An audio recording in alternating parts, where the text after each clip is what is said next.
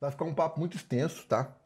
Mas tem como você gravar uma aula exclusiva para o nosso canal, com mais detalhes sobre passo a passo, começar, tráfego pago, influencer, crescer Instagram, gestão, marketing, você consegue fazer isso pra gente? Com certeza. Galera, então a gente vai, ela vai gravar essa aula exclusiva, a gente vai postar no canal, tá?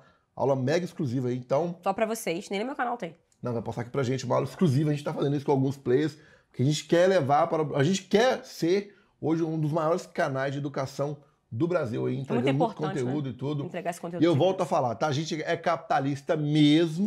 a gente não esconde aqui. a gente quer que você ganhe dinheiro e não é pouco, não, viu? Se você tá ganhando mil reais, dois mil, cinco mil.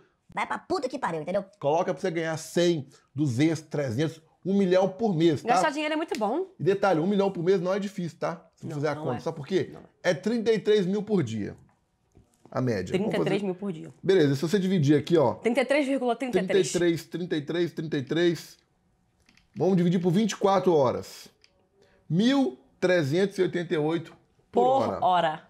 Se você pegar um produto e vender, sei lá, dois produtos, vamos supor aqui, ó, 700 reais. Se você vender, que é 700, 48 vezes. Se você vender um produto de 700 reais 48, 48 vezes no dia, dá para chegar um milhão. Não, não tá difícil. Não, galera. outra coisa, deixa eu falar. O pessoal que trabalha em loja de roupa vende muito mais que isso aí por dia, tá? Muito não, mais que muito isso. Mais. E ganha 1% do valor total da loja dividido por todo mundo. E se você tá no seu trabalho e tá puto, tá estressado, tá magoado, sai dele. Entendeu? Sai dele. Porque hoje muita gente manda mensagem para mim, ah, Mike, tô no meu trabalho, eu tô puto. Não é zona de conforto. Isso... Porque sai as pessoas. Na hora que isso sai dele, você vai ficar louco, desesperado, aí você vai dar um jeito, meu amigo. É porque quando, você, quando não tem jeito, você tem que dar um jeito. É igual eu falo, fazer até dar certo. Não é fazer para até dar certo. Tem que fazer, não adianta. E detalhes, quando você começa a falar de dinheiro para seus amigos, para sua família, tudo, eles vão falar que você é capitalista, que você só pensa em dinheiro. Novamente, foda-se, tá bom?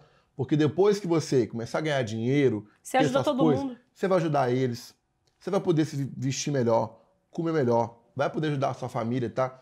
E o pessoal fala assim: dinheiro não compra felicidade. Realmente tem coisa que o dinheiro não vai comprar.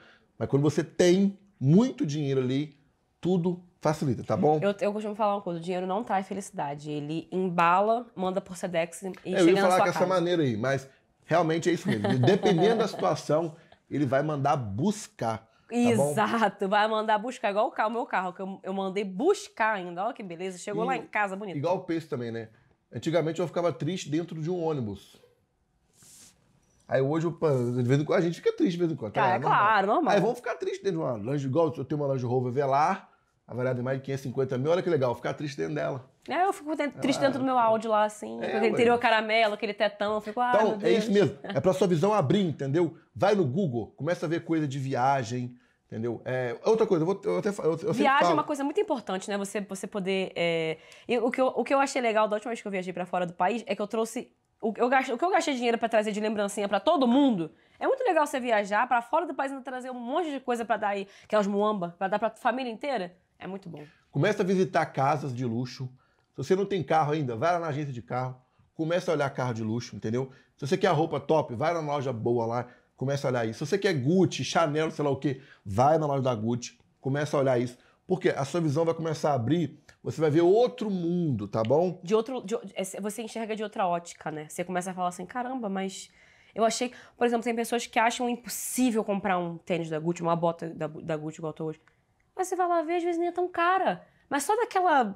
Nossa, você vai ver, caraca, se eu trabalhar um pouquinho, você vai. É, você consegue. E outra coisa, a pessoa fala assim: ah, Mike, eu com um milhão de reais eu vou mudar minha vida. Mas muita gente não sabe nem o que fazer com um milhão de reais. Começa a estudar o que fazer com um milhão de reais. É Aonde é você vai aplicar esse dinheiro? Porque simplesmente não dá para você pegar um milhão de reais e deixar parado, né? Então, começa a se preparar para quando chegar a um milhão, dois, três, quatro e cinco e por aí vai.